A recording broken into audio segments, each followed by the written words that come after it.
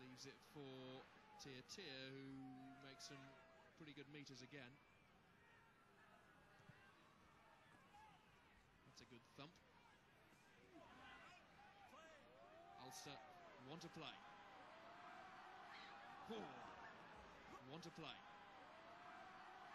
Four. Four.